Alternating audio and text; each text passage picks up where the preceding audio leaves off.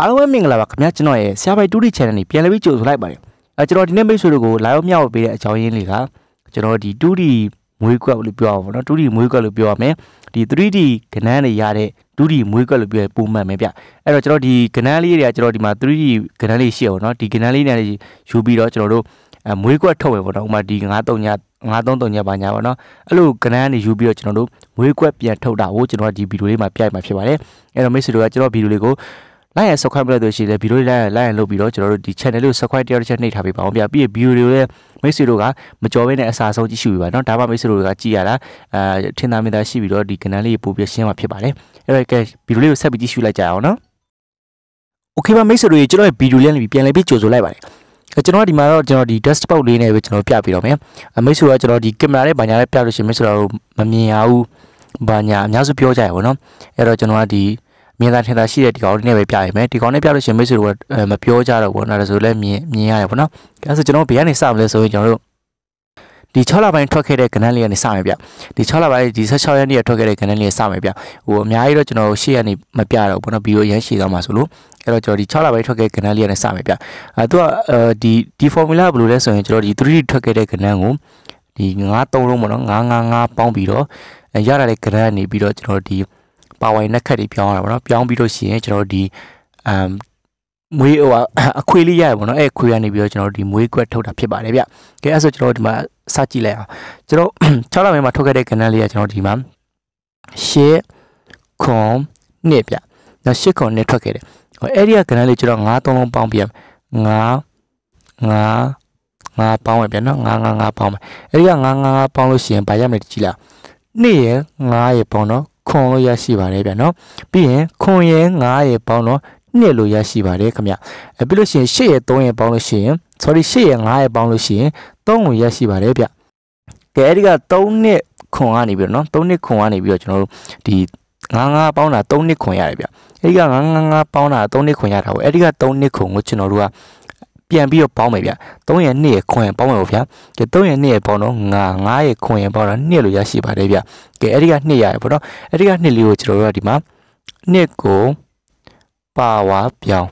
2ရဲ့ပါဝါကမိတ်ဆွေတို့ဗာလဲသိရတဲ့အတိုင်း2ရဲ့ပါဝါကခွန်ပေါ့ဗျာကဲအဲ့ဒါခွန်ရရှိပါတယ်ပြီးလို့ရှိရင်အဲ့ဒီကအဲ sorry ဒါလေးကိုကျွန်တော်ဒီမှာမြင်တခြားရောင်နဲ့ပြလိုက်မယ်ဗျာနော် အာမို့ဆိုမိတ်ဆွေတို့ရောသွားမှာဆိုလို့ကဲနှစ်ရရှိရဗျာကဲနှစ်ကိုကျွန်တော်တို့ပါဝါပြောင်းနှစ်ရဲ့ပါဝါကခွန်နှစ်ရဲ့နက်ခတ်လေးအဲ့တော့ကျွန်တော်တို့ဒီမှာနှစ်ခွန်လေးဆိုပြီးအခွေလေးရရှိပါတယ်ဗျကဲအဲ့ဆိုကျွန်တော်ဒီနှစ်ခွန်လေးအခွေလေးကနေရရှိတဲ့ကဏ္ဍကိုအဲကျွန်တော်တို့ဘာကဏ္ဍရလဲဆိုတော့ဒီအောက်မှာကျွန်တော်ရေးပေးမယ်ကဲရရှိတဲ့ကဏ္ဍကဗါတဲ့မိတ်ဆွေတို့နှစ်ခွန်လေးအခွေလေးပေါ့နော်နှစ်ခွန်နှစ်ခွန်လေး နှစ်ခွန်လေးခွေကိုကျွန်တော်တို့ပြန်ခွေရမယ်ဆိုလို့ရှိရင်မျိုးဆိုကဏ္ဍဘယ်နှလုံးရှိမလဲတစ်ချက်ကြည့်ကြအောင်ကဲနှစ်ကဏ္ဍပြန်ခွေမယ်နော်နှစ်ခွန်ပြီးရင်ခွန်လေးပြီးလို့ရှိရင်နှစ်လေးပြီးရင်နှစ်နှစ်ခွန်ခွန်လေးလေးအဲ့ဒီက6ကွက်ရရှိပါတယ်ဗျနှစ်ခွန်ခွန်လေး နှစ်လေးနှစ်နှစ်ခွန်ခွန်လေးလေးဆိုပြီးရရှိပါတယ်ဗျအဲ့ဒီက6ကွက်နေရာဒီတေချာပေါက်မိတ်ဆွေတို့နှစ်ကွက်ဒါမှမဟုတ်3ကွက်ကကျွန်တော်တို့ဒီမွေးကွက်အနေနဲ့ထွက်လာပေးတယ်ပေါ့နော်အဲဒီမွေးကွက်အနေနဲ့ကျွန်တော်ဘယ်လိုထွက်မလဲဆိုရင်ဥပမာကျွန်တော်ဒီ6လပိုင်းတရက်နေ့ထွက်တဲ့ 3D ခဏဆိုရင်6လပိုင်းဒီ16ရက်နေ့မှတိုင်ခင်မှာဒီတိုင်းထွက်လာတယ်ဗျ ဒီကနေပြီးတော့မွေးပြရအောင်နော်မိတ်ဆွေဒီထဲမှာဆိုရင်တော့ကျွန်တော်ပြန်တော့ကျွန်တော်ကရင်နာ site ပြန်ချမပြတော့ဘူးပေါ့နော်။ဘာလို့ဆိုတော့ကျွန်တော်ဗီဒီယိုတားရှိမှာဆိုတော့ပါအဲ့တော့ဒီ6ကွက်ထဲနဲ့မိတ်ဆွေတို့သိချပါ2ကွက်တောင်မို့3ကွက်ကသိချပါဒီအာဒီနောက် 3D မထွက်ခင်ပေါ့နော်ဥပမာဒီမှာဆိုရင်ဘာကနန်းထွက်ခဲ့ရလဲဆိုတော့ကျွန်တော်ဒီမှာ8ခွန်နှစ်ပေါ့နော်8ခွန်နှစ်ပြီးလို့ရှိရင်နောက်ကနန်းမထွက်ခင်မှာကျွန်တော်ဒီဒီကနေပြီးတော့သိချပါမွေးကနန်းနေပြီးတော့အာလာပြီးတော့ပောက်ကွက်ထွက်လာလိမ့်မယ်ပေါ့နော်။ကဲအဲ့ဆိုကျွန်တော်ဒီမှာနောက်တစ်ခုဆက်ပြီးတော့သွားကြအောင်။နောက်တစ်ခုလည်းကျွန်တော်ဘယ်ကနေသွားမလဲဆိုရင်နောက်တစ်ခုကကျတော့ကျွန်တော်တို့မှာ 635ပေါ့နော်635အနေတွားမယ်ဗျ635ဆိုကျွန်တော်ဒီမှာ635အရင်ရေးလိုက်အောင်မယ်635အဲ့တော့635ကိုကျွန်တော်တို့ဘာလုပ်မလဲဆိုတော့955ပေါင်းပြရမယ်955ပေါင်းမယ်ဆိုတော့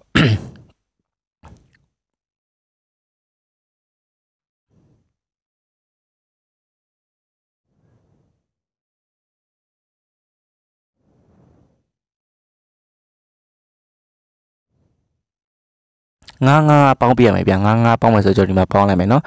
9 9 9အဲ့တော့9ရေကျွန်တော်ဒီမှာအဲ9ရေပေါင်းတော့3ညလေးရရှိပါတယ်တကယ်3ည3ညရေ9ရေပေါင်းလို့ရှိရင်9ရရှိပါတယ်ပြီးရင်6ရေ9ရေပေါင်းလို့ရှိရင်1ရရှိပါတယ်ဗျအဲ့တော့ကျွန်တော်1 9 3ညပါတော့1 9 3ညကိုကျွန်တော်တစ်ချက်တစ်ဖန်ပြန်ပေါင်းမယ်1ရ9 1ရ9ရပေါင်းလို့6 6ရ3ညရပေါင်းလို့လေ6လို့ပဲရရှိပါတယ်ဗျကဲအဲ့ဆိုကျွန်တော်ဒီမှာရရှိတဲ့6လေးကိုကျွန်တော်တို့ဘာပြောမလဲ6လေးကိုကျွန်တော်ပါဝါပြောမယ်6ရပါဝါက1 6ရနက်ခက်ကကိုအဲ့တော့619ဆိုတဲ့အခွေလေးကိုအရရှိပါတယ်ဗျအဲ့ဒီက619အခွေလေးကိုမိတ်ဆွေတော့ဘာပြန်ပြောင်းရမလဲဆိုတော့အဲကျွန်တော်တို့ဒီမွေးခွက်အနေနဲ့ပြန်ပြောင်းရမှာเนาะအဲ့တော့ကျွန်တော်မ619ခွေလေးကိုကျွန်တော်တို့ပြန်ပြီးတော့ခွေလိုက်မယ်ခွေလိုက်မယ်ဆိုလို့ရှိရင်6 1เนาะပြီးလို့ရှိရင်ကျွန်တော်ဒီမှာ1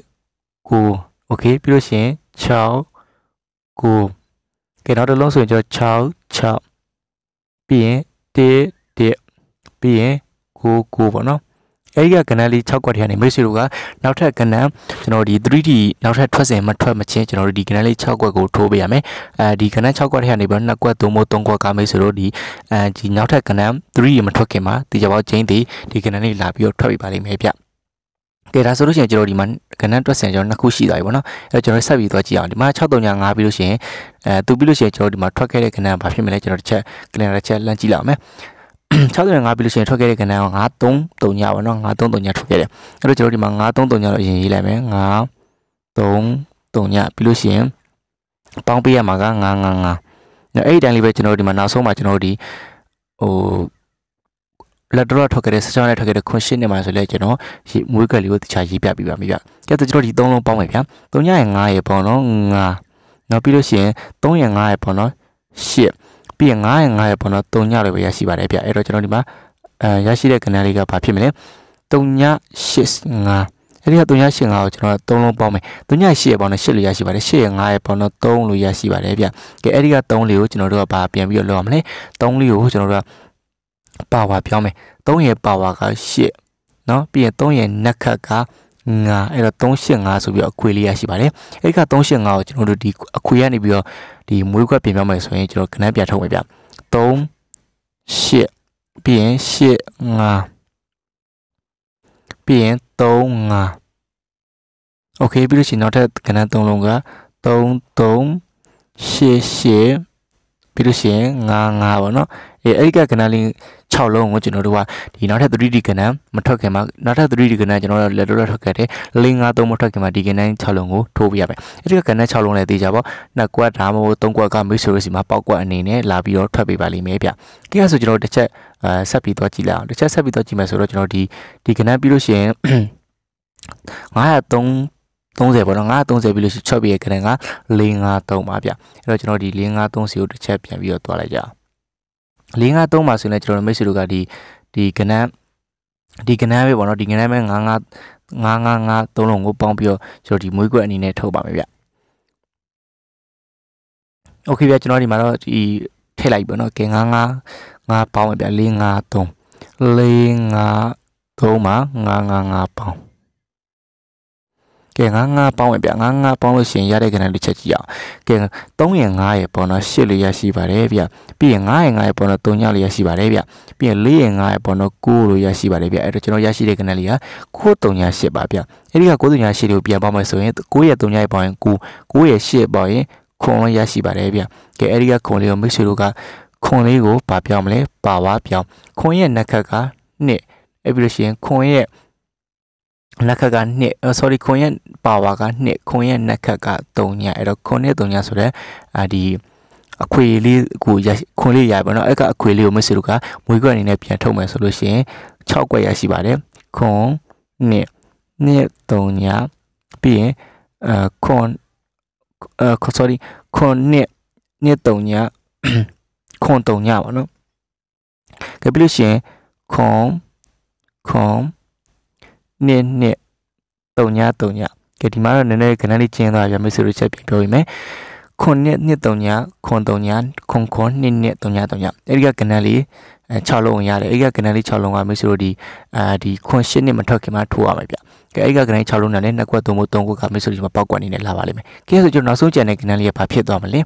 လက်တော်16နေရာမှာထွက်ရှိခဲ့တဲ့ကဏ္ဍလေးက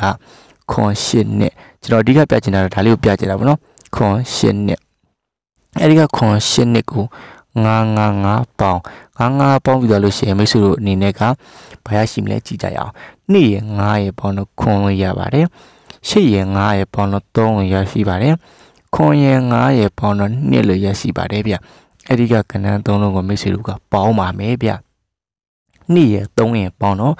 9 9ရခွန်ရပေါင်းတော့2လို့ရရှိပါတယ်ဗျကဲအဲ့ဒီကနှစ်ကလေးကိုကျွန်တော်တို့ကဘာပြောင်းမလဲနှစ်ကိုကျွန်တော်တို့က ပါဝါပြောင်းနှစ်ရဲ့ပါခခွန်ပြီးလို့ရှိရင်နှစ်ရဲ့နက်ခက်ကလေးအဲ့တော့နှစ်ခွန်လေးဆိုတဲ့အခွေလေးကိုမိတ်ဆွေတို့အနေနဲ့ရရှိပါတယ်အဲ့ဒီကနှစ်ခွန်လေးကိုမိတ်ဆွေတို့အနေနဲ့ပြန်ပြီးတော့ခွေကွက်အနေနဲ့ထိုးရမယ်ဆိုလို့ရှိရင်ဘာကွနန်းဖြစ်မလဲချက်ကြည့်ကြရအောင်နှစ်ခွန်လေးဆိုတော့နှစ်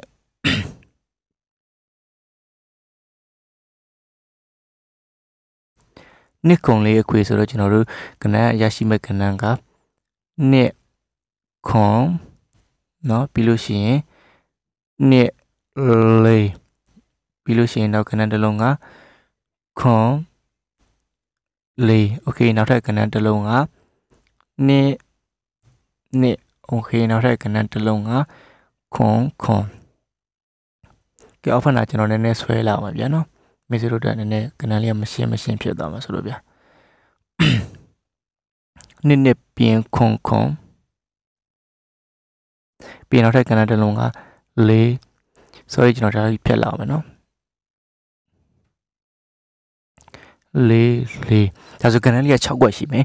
နှစ်ခွန်နှစ်လေးခွန်လေးနှစ်နှစ်ခွန်ခွန်လေးလေးအဲ့ဒီကကဏ္ဍလေးလေးလုံးကိုမိတ်ဆွေတို့ဘေးချိန်တိခွေပေးရမလဲဆိုရင်ကျွန်တော်ဒီခွန်ရှင်းနှစ်ထွက်ထွက်တာကကျွန်တော်၈လပိုင်း16ရက်နေ့ဆိုတော့ကျွန်တော်တို့၈လပိုင်း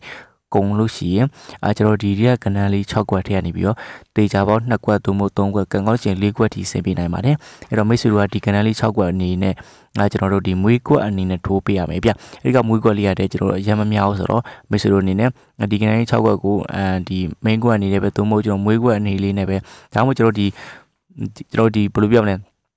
တချို့ကြတော့ညံပါတယ်ပေါ့နော်ဘယ်လိုထိုးကြလဲဆိုလို့ရှိရင်အဲဒီရက်မှာတော့ကျွန်တော်ဒီဘာလာနိုင်တယ်ဥမာနှစ်လာနိုင်တယ်ဆိုရင်တော့ကျွန်တော်ဒီနှစ်ထိတ်စီးနဲ့ပဲဖြစ်ဖြစ်ကိုကြိုက်တဲ့ကဏ္ဍလေးနဲ့ရောထိုးပေါ့နော်ဥမာကျွန်တော်ဒီ one chain တွေပါညာရှိလို့ရှိရင်လည်း one chain နဲ့ထိုးဒီမှာ break တွေပါညာရှိလို့ရှိရင်ဒီတဲ့နေပဲကိုကြိုက်တဲ့ကဏ္ဍလေးဥမာအဲကျွန်တော်ဒီမှာ core break လာနိုင်တယ်ဆိုရင်ဒီကနေပဲဥမာကျွန်တော်တို့မိတ်ဆွေတို့ချိုင်းနေတဲ့ကဏ္ဍနှစ်ခွန်ဆိုနှစ်ခွန်ကဏ္ဍလေးတစ်လုံးပဲမွေးကွက်အနေနဲ့ယူလိုက် အဲဒီလိုထိုးလို့ရှိရင်မရှိတော့ကဏ္ဍအနေနဲ့ငယ်ပို့ပြီးနေသွားလိမ့်မယ်အဲ့လိုဆိုလို့ရှိရင်မရှိတော့ကျင်းတီပေါကဏ္ဍပေါက်လို့ရှိရင်လည်းမရှိတော့ဒီကိုထိုးကိုထိုးမဲ့ကဏ္ဍလေးတကြိုက်တယ်ပေါ့နော်ကဲအဲ့တော့ အဲကျွန်တော်ဒီဗီဒီယိုလေးမှာပြပပေးရတာကကျွန်တော်ဒီ 3D ကဏ္ဍကနေပြီးမွေးခွက်ဘယ်လိုထုတ်လဲပြီးလို့ရှိရင်မွေးခွက်ဘယ်လိုယူရမလဲဆိုတဲ့ကဏ္ဍလေးကိုဒီဗီဒီယိုမှာရှင်းပြပေးတာဖြစ်ပါတယ်အဲတော့ကျွန်တော်ဒီဗီဒီယိုလေးကိုကြိုက်နေတယ်လို့ရှိရင်လည်းမိတ်ဆွေတို့က like တယောက်တစ်ချက်နေပြီးတော့ comment လေးမှာတယောက်တစ်ချက်မင်္ဂလာပါဖြစ်ဖြစ် okay ပါဖြစ်ဖြစ်ရေးပေးခဲ့ကြပါအောင်နော်အဲပြီးတော့ channel လေးကို subscribe တယောက်တစ်ချက်နေပြီးပါအောင်ကျွန်တော်ဒီနောက်ဗီဒီယိုမှာအားလုံးနဲ့တူတူပြန်လဲဆုံတွေ့ပါအောင်မယ်ဒီနေ့ဗီဒီယိုလေးတော့ဒီလောက်နေပဲကျွန်တော်အဆုံးပတ်ပါမယ်ဗျကဲအားလုံးပဲပတ်ပါမယ်